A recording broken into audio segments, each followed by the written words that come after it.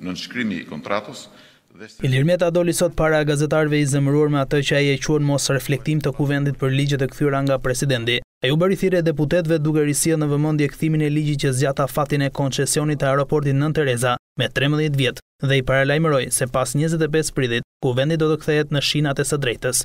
I bëj thirrje çdo deputeti dhe çdo zyrtari të lartë të reflektojë me shumë përgjegjësi mbi këtë nismë, duke paralajmëruar njëkohësisht se për çdo vepër penale të konsumuar gjithçka do të mbahet shënim dhe nuk do të ketë kurrë amnisti, por vetëm drejtësi.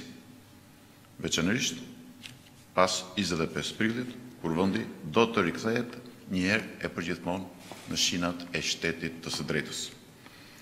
Meta tha se mungesa e reflektimit nga ana e Kuvendit për ligjet e kthyer të presidentit, nuk do të kishte ndodhur kurrë në rast se vendi do të kishte një reformë në drejtësi të suksesshme. Nëse do të kishim patur vërtetë një reformë drejtësi të suksesshme, kurrë nuk do të kishin guxuar ministrat, qeveria, po edhe vetë Kuvendi të bënte këto gjëra që ka bërë dhe që ju ftoj shumë që t'i lexoni, ashtu sikurse nuk do kishin guxuar të bënin dhe shumë. Gjëra të tjera, apo afera të tjera.